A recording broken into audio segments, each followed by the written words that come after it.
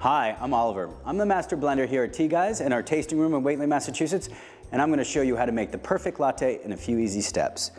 Okay, today I'm using our cinnamon, ginger, and vanilla bean chai blend tea concentrate, and we have about, we're going to do about an eight ounce serving. To this, I'm going to add um, one tablespoon, okay, of our tea concentrate, okay? And then I'm gonna add a 50-50 proportion of milk and water. You can do it in all milk, depending on your personal preference.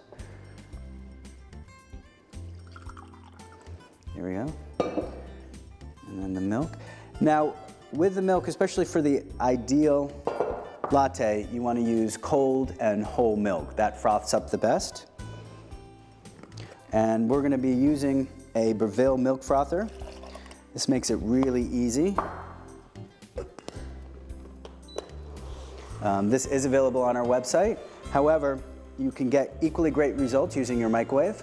I've already pre-mixed all the you know proportions. I'm going to put this in, this is an 8 ounce serving, I'm going to put this in for about a minute, minute and a half. If you're using two cups, it's going to be about a minute and a half to two minutes. What you're going to look for is the milk will start to froth on the surface. Then you know it's the ideal temperature in order to be able to whisk it up and get that ideal latte. So I'm going to go run off, put this in our microwave. I'll be right back while this is preparing. And I'm back.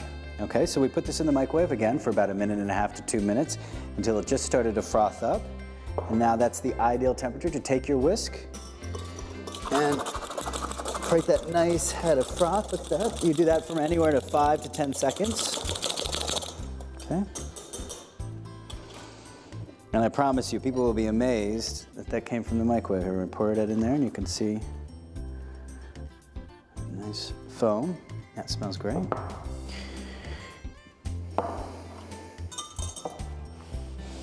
There you go, the, the uh, our, you know, the perfect chai tea latte made from the microwave. And you can smell all those great spices in there. And this is the one made with the Breville. So pour that in there. We'll just finish it off with some of the froth.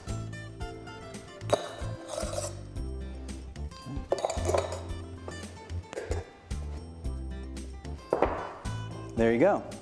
The perfect tea latte using our tea concentrate. Again, today we're using our cinnamon, ginger, and vanilla bean, our chai tea blend.